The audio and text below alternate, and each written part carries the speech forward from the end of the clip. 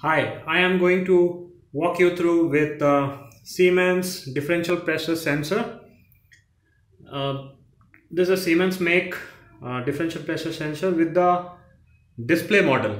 We have other variations also without the display which can be transmitted. The data can be transmitted. Now uh, we can see that the hardware is made of a plastic, basic plastic and we see some communication output provision over here.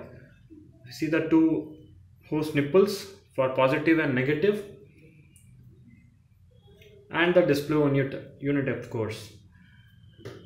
If you see that the model is QBM 30201D D. As in display. And the range for this instrument is 0 to 100 Pascal or 0 to 10 mmWc.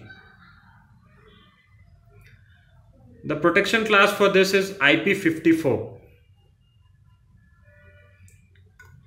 With this instrument you get a silicon tube, instruction manual of how to fit this. Comes inside this box. There are many other models related to the differential, differential pressure transmitter with different ranges.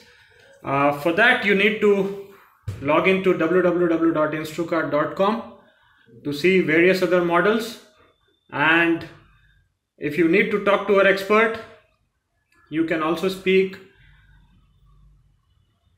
visiting this site. Thanks a lot.